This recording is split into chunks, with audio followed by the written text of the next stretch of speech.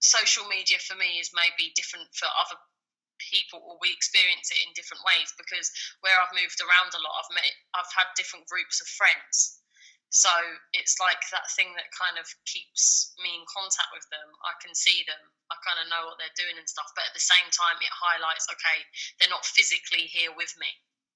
You can't like touch them. You can't there's not like an energy between the both of you. It's just like a screen yeah, I feel like sometimes, as much as it makes you feel connected, it's almost like a kind of what's the word I'm looking for? Like it's not, it's not a real connection. I don't know. Synthetic connection. I don't know.